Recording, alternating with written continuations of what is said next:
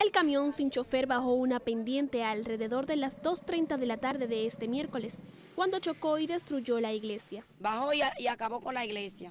Destruyó instrumentos, destruyó paredes, destruyó puertas y si había habido gente también la había matado. Dijeron que no es la primera vez que se da la situación, puesto que hace poco menos de un mes que un camión destruyó un colmado del área. Expresaron temor por sus vidas, en especial la de los niños, debido a que el dueño de los camiones supuestamente pretende comprar un solar frente al parque recreativo del sector. El solar está vacío, entonces ellos lo quieren alquilar pero de ninguna manera nosotros se lo vamos a permitir. Primero, porque ahí es donde los muchachos juegan, brincan, saltan. Agregaron que desconocen al dueño de los vehículos pesados o la empresa a la que pertenecen, que no permitirán que continúen en el lugar. Yo no sé dónde se lo van a llevar, se lo llevan para Jurumucú, qué sé yo, pero aquí no sentamos los camiones porque no hay responsabilidad de los dueños de los camiones.